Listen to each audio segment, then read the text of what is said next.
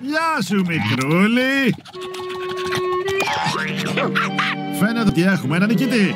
Ω, τι γλυκό! Πώς θα τον ονομάσεις, του ταιριάζει το όνομα Σποτ! Το όνομα προκαλεί βίαιη αντίδραση. Σποτ, λοιπόν!